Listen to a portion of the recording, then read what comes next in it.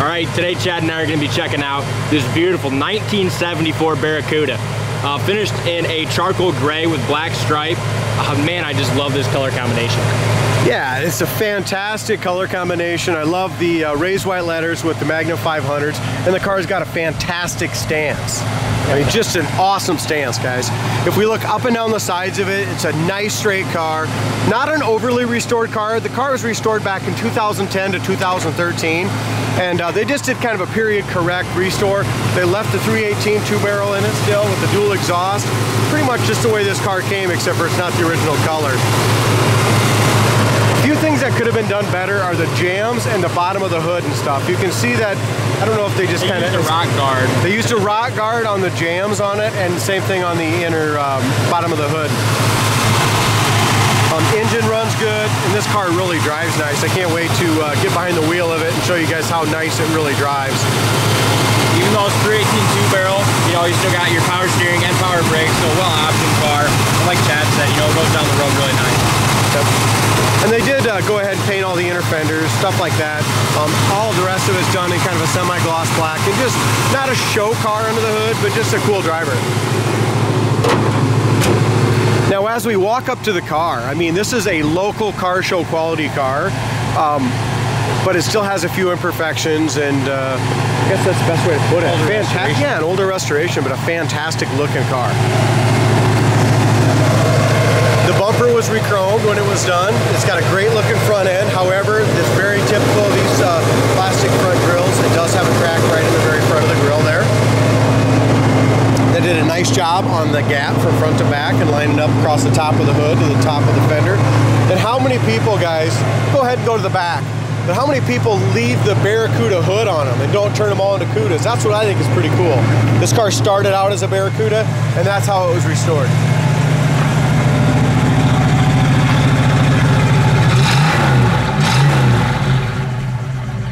Okay, now you want to idle down like you're supposed to. As far as that dual exhaust sound, it's got a great sound to it. Just a nice, healthy 318. What do you think of the color combo, D, on this this dark gray with the black interior and the black stripes and the race white letters? Everything just goes perfectly together. Yeah, it's kind of like subtle and classy, I think. Yeah. We have a really nice gap at the back of the hood. Um, top of the fender here goes all the way down. There looks nice. Bottom of the lower fender's in good shape. If you go to our website, coyoteclassics.com, you're going to see about 20 to 25 photos of the undercarriage of this 1974 Barracuda as well. It also, uh, in our description, it comes with a bunch of receipts of work done on it and kind of timetable on it. Also has this original broadcast sheet, which is really nice and important on these. Some little solvent pop here in this uh, so very small, just right in there. We want to point out very, very small. Probably a circle right in here. Um, tinted glass in the back. It does have some uh, kicker six by nines in the back as well. Um, they went ahead and kind of halfway seam sealed. Seam sealed here. I mean, it's not bad, but like I said, there's just a few things on the car. Um, this little piece here has also been rhino lined. This is black right down in here underneath the bumper. Don't know why they did that, but they did. Uh, back panel is in excellent shape. The tail lights, tail light chrome is great. Inside the trunk is solid with its correct mat. Um, dual exhaust is nice and it comes out over the original um, dual exhaust valance. How it's just got a couple little, not the complete cutouts, but it's just, you can see the little bumps there for that. It does have the wheel well trim. Uh, if you look at the top of the door, it's got just a little clear coat drip, maybe right here. It's just got a few little things here and there, but not a lot of chips or anything. Door handles have been replaced. As we open up the doors, the door jamb paint right here is nice, but you can see where they Ziebarted it right on the very top edge of the rocker. And that's the best way to put it, it was a factory Ziebart car, I'm guessing, and, and that's why you have that. Instead of stripping all that to bare metal, they probably just, just painted over that there. Um, jams in the corner of the doors, stuff like that are all painted. When they did the paint job, they put all new rubbers and felts and roof rail rubbers in it. Uh, door panels are excellent. Seat covers were replaced. And they did a fantastic job on the seats. Really nice job there. Carpet's new. Console's excellent. Uh, Dash is in excellent shape. Dome light works. Headliner's nice. It's got, uh, it looks to me like just two little, you can see like two little spots where maybe the wires or the clips or something on that headliner. Other than that, it's perfect. Top of the back seat, back seat's great. Door panels are nice. Um, it's got seat belts for two in the back. You got your retractables here, the shoulders in the front.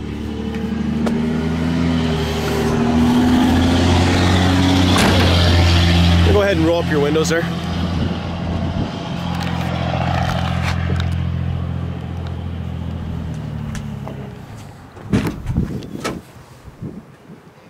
Another thing I like about this Barracuda is with those receipts, the restoration was done a number of years ago, and the previous owner had claimed he put about five, 6,000 miles on it. So mechanically, it's had those miles put on it. A lot of the stuff that needed to be done was done.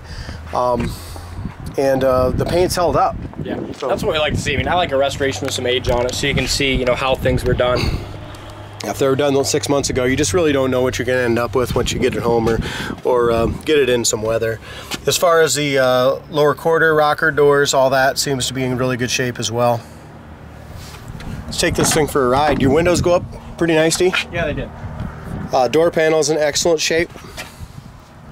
Again, you have that rock guard right down in here. That's been painted over.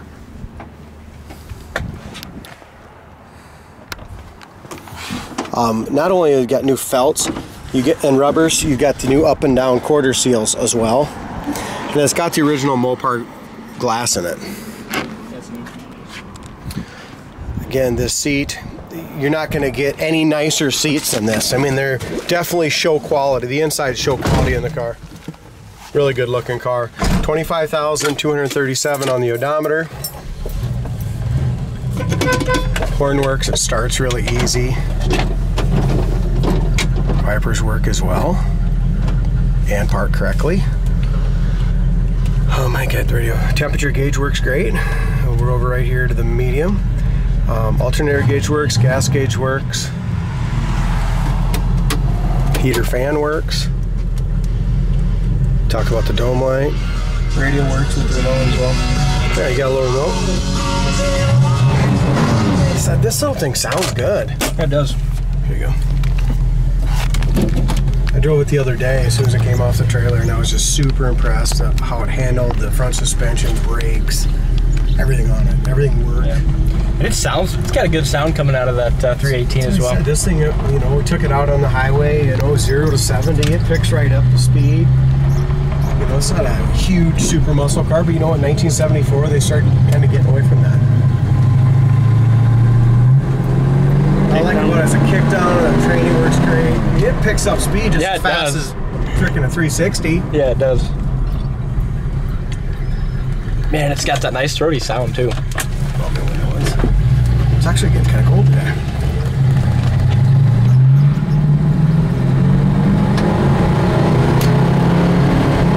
Shifts really smooth. Yeah, it does. That 904, there's receipts on that 904 being rebuilt. But look at this. That's 80 mile an hour right there, guys. No hands on the wheel. 85, 90. Shifting to third. That's awesome. Wow, that is impressive. How many cars handle like 318 two barrel. Gets up to speed like that and handles this well. And it's quiet inside. Um, how much? There's 60 mile an hour right here.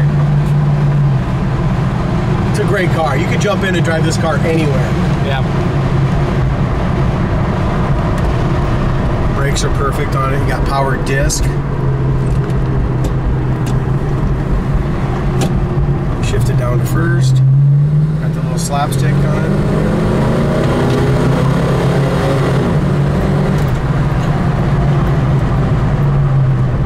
This car's ready to go, man. I'd sell this to anybody. It's a great car.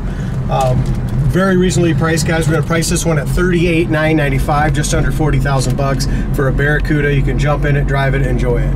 Exactly. Check it out, coyoteclassics.com. Uh, don't forget to subscribe to the channel for you know, videos like this.